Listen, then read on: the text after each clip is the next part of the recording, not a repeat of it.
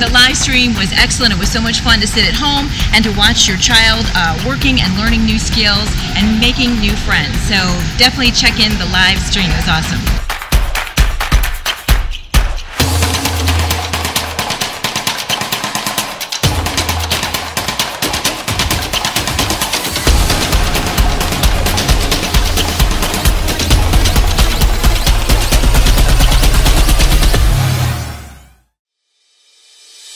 Thank